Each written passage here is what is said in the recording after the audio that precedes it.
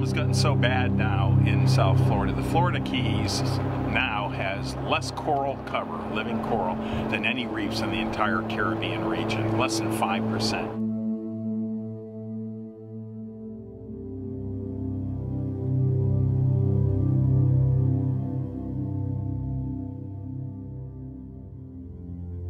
We see a lot of denial in the resource managers that sewage is a problem for coral reefs, turbidity from dredge and fill operations, and you know the things that we do here in South Florida. And uh, there are ways to do a lot of these things using new technology.